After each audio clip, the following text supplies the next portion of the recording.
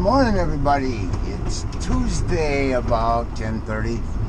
We are just finishing up chores. Devin's gonna haul some hay. Uh, I'm just cleaning up my uh, spills and stuff. I try to keep it a little cleaner. Looks like I'm just mixing a bunch of snow, and I am, but you know, the snow is perfectly clean. We put it in the box and we clean it up and adds, adds a little moisture to it. And that way we don't waste anything. Shit's expensive enough. But anyway, I wanted to uh, tell you guys that um, the contest winners, Mr. Ted from Pewview Farms and Mr. Brad from Northern Wisconsin Farming, both decided to donate their prizes back into the pool, which is great. Tells you what kind of people they are. So, around the 7th of February, the next contest will be, uh, in case you know, uh, February 14th, obviously, or whatever, is Valentine's Day. That way, if somebody wants to buy something for their significant other, they will have time. Hopefully, I can get it to them. Uh, that'd be kind of awesome. Um, other than that, a while back, I want to say in October, November, I started a series called Story Time. And I made a few few videos and I got away from it. And uh, uh, it's back, if you will. So Chris DeHaven from DeHaven Family Farms, his uh, request was uh, he was wondering if I had ever been gotten pranked on. Well, yes, Chris, I did. Uh, and back in 1988, you guys don't remember it, just us old bastards do.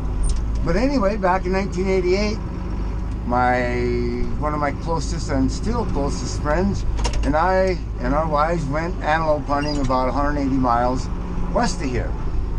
We like we'd done forever. Excuse me. So we get over there and we get looking. We got the camper set up, real nice people where we stay, etc., etc. We got over there a little too late to go around at night, so the next morning we're driving around and there is this giant. I, um, I mean, a monster. See over there they have long prongs and big thick bases and they have it all. But anyway, he's in a perfect spot. You can sneak up over the hill and kill him dead on a stone. So me and my buddy, we flipped to see who was going to um, get to uh, shoot this. We both had shot pretty big goats, you know, in previous years, but uh, this guy was going to be the biggest. So, all right, we made our plan, and he was going to come up there and with me in case I missed, you know, that hardly ever happens. You know how that goes. But anyway, I get out, set my gun in the pickup, walk around the corner to go to the bathroom, and unbeknownst to me, he takes my shell out of my barrel of my gun. So I get done going to the bathroom, and we sneak up to this goat. I mean, he's dead on his feet. I know he is. He ain't going nowhere. Uh, I pull the bolt down. I take a good aim, and he's sitting there, and he's aiming to it. And I said, "Don't worry about it. I got this."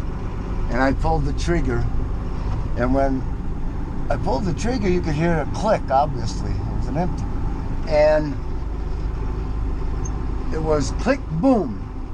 It was just like that. He knew damn good and well that I had no bullet. So the minute that he heard the click, he killed that goat dead on his feet. And we we had him measured by the, uh, well, we waited. Uh, I won't say Boone and Crockett, but we measured it Boone and Crockett style. I want to say it takes 82 inches to uh, make the minimum of Boone. And this one was a shade under 80, 79 and 6 eighths or something like that. But anyway, moral of the story is yes, Chris, I got I got taken good there. So anyway, I'm gonna try and get back in the storytelling business. Uh, so I guess every Tuesday, the next one will be uh, Devin's story. Uh, guy requested that a long time ago, and how Devin come to be here at the ranch or whatever. So everybody take care. Um, thanks again. Thanks to all my new subscribers. There's coming out of the woodwork. It's crazy. Thank you. I appreciate it. Please comment, rate, and subscribe if you like it. If you don't, tell me what you want. Take care.